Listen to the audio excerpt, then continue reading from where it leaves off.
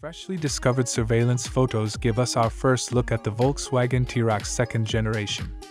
Volkswagen said in April that the T-Roc will be their last internal combustion engine car. The statement has boosted interest in these photos. Initial concealment may seem little as seen. However, deeper inspection reveals intriguing aspects. Grille and headlight designs, which define an automobile, are effectively hidden under the front fascia. These looks may have been inspired by the Tiguan, its larger and Kavia sibling. From the side, the rear wheel arch has a familiar design line, but the belt line fold disappears, presenting a more streamlined shape. The greater back window slope suggests a crossover coupe form compared to the existing model.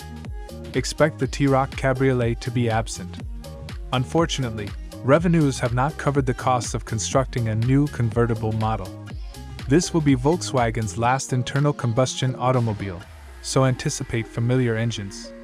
The recently revised 8.5 Malawin Quatches Golf, which has 147 horsepower mild hybrid 1.5L engines, plug in hybrid variants with 62 miles of electric range, and a sportier GTE version with 268 horsepower, may be the powertrain.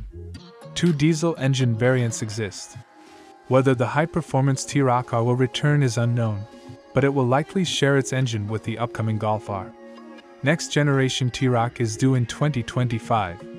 Stay tuned for further details as the much anticipated announcement approaches. Comment below with your excitement for the new T-Roc.